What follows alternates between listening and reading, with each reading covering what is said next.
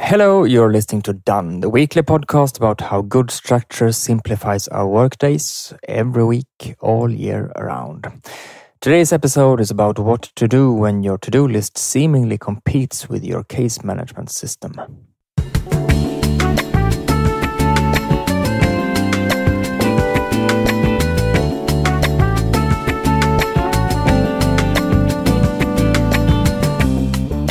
Does someone who has a case management system really need a to do list?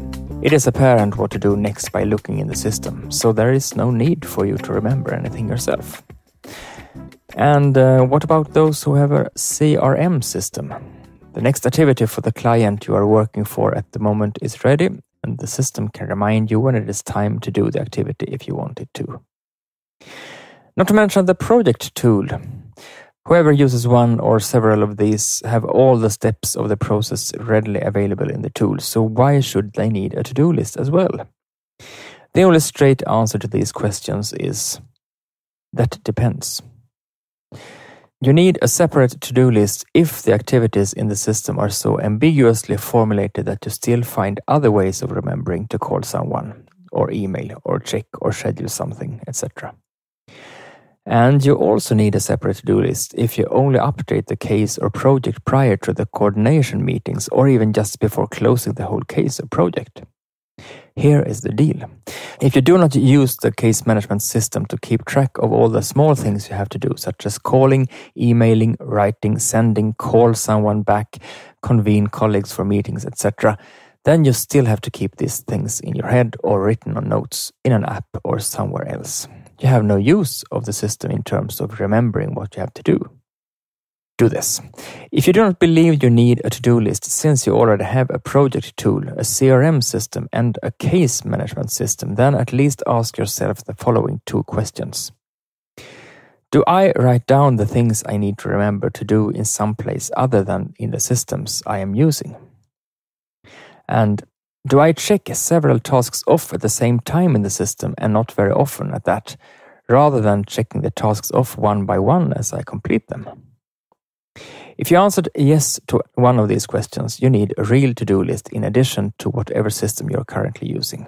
If you already have one, then you have already dealt with this issue. If not, then determine what the one and only location you write down all the tasks you need to do, which you do not do immediately, will be.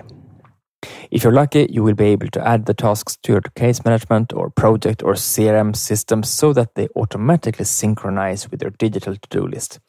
For instance, like you can for Outlook's tasks, if you are using Outlook for emailing. If you get yourself one single to do list, in spite of having a case management system or something similar, you will have a clear and concise way to gather all your tasks which are not concerned with the cases you are managing in the systems. You will thereby get much clearer overview of all your commitments and will be able to influence your working situation to a greater extent. With less things cluttering your mind, you will be able to focus on and think about much more important matters.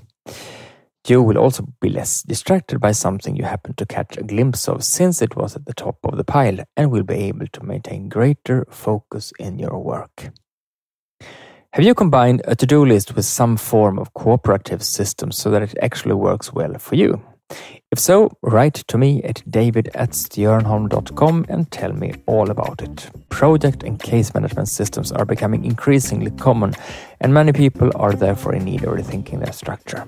And doing so, your tip could be very useful. Thank you for joining me today. See you again next week.